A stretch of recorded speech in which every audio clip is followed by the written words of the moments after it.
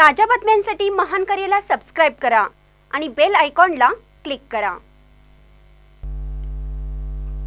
रविवारी होणाऱ्या शिष्यवृत्ती परीक्षेची तयारी पूर्ण. सांगली महापालिका क्षेत्रात शिष्यवृत्ती परीक्षेसाठी चार हजार तीनशे पाच विद्यार्थी. शासनाच्या राज्य परीक्षा परिषदच्या पूर्व उच्च प्राथमिक इयत्ता पाचवी आणि पूर्व माध्यमिक शिष्यवृत्ती परीक्षा इयत्ता आठवी अठरा फेब्रुवारी रोजी रविवारी होणार आहेत. या परीक्षेची सर्व तयारी महापालिका शिक्षण विभागाकडून पूर्ण झाली आहे.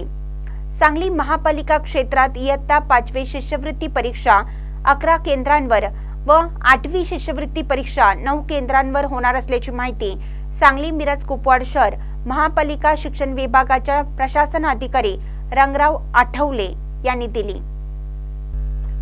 महापालिकेचे आयुक्त सुनील पवार उपायुक्त स्मृती पाटील यांच्या मार्गदर्शनाखाली परीक्षेची तयारी पूर्ण झाली आहे.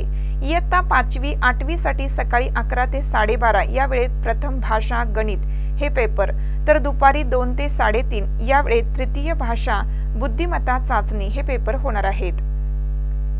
इयत्ता पाचवी शिष्यवृत्ती परीक्षेसाठी एकूण अकरा परीक्षा केंद्र आहेत. तर इयत्ता आठवी साठी एकूण नऊ परीक्षा केंद्रे आहेत. सर्व परीक्षा केंद्रावर शिक्षण विभा विभागाचे प्रशासन अधिकारी रंगराव आठवले यांच्या नियंत्रणाखाली सर्व केंद्र समन्वयक कार्यालयीन कर्मचारी तसेच वीस परीक्षा केंद्रावर वीस केंद्र संचालक शिक्षक असे दोनशे साठ लोकांची नियुक्ती करण्यात आली असून सर्व परीक्षा केंद्रावर पोलीस बंदोबस्त नियुक्त करण्यात आला आहे सांगली मिरज कुपवाड शहर महानगरपालिकेच्या शिक्षण विभागाकडून शिष्यवृत्ती परीक्षेसाठी मनपा शाळेतील तीनशे पन्नासहून अधिक मुलांची विशेष स्कॉलर बॅच तयार करण्यात आली असून कोल्हापूर येथील प्रेरणा संस्थेच्या माध्यमातून शिष्यवृत्ती परीक्षा सराव प्रश्नपत्रिका सोडवून घेतल्या आहेत.